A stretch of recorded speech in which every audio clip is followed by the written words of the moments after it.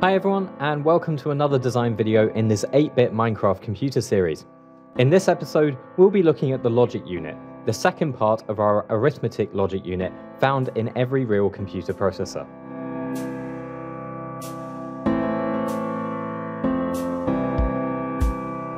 A key part of any Turing machine is the ability to make a decision based on a value. Without this, our program wouldn't be able to choose between different actions depending on its inputs. For this simple architecture, we're going to make decisions based only on the value in the A register. We'll have two kinds of test, whether the value is zero or whether it is negative. It turns out though that this is sufficient for any of the usual comparison operators. For example, A less than B can be tested by calculating areg minus breg putting the result back into areg, and then testing whether areg is less than 0. Let's start by looking at how we can do this in ModuleSim. The AU modules provide a second output, which is a logic test output. This indicates whether the result of the calculation is 0 or negative, depending on the mode selected.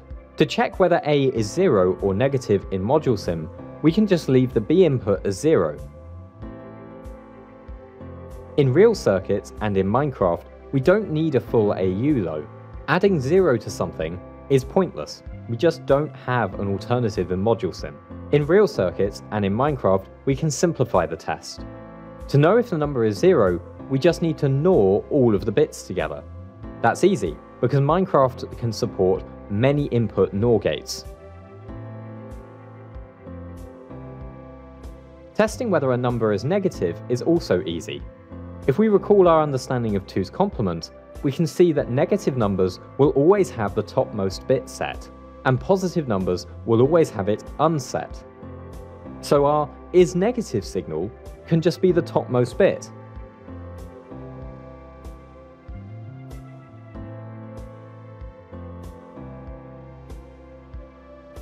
Our logic unit can be hooked up to our A register. That's it for this video, a really short one this time, and in the next video, we'll be finishing this half of the processor before we look at how we can control our processor to make it do useful stuff. As ever, don't miss the live stream tonight.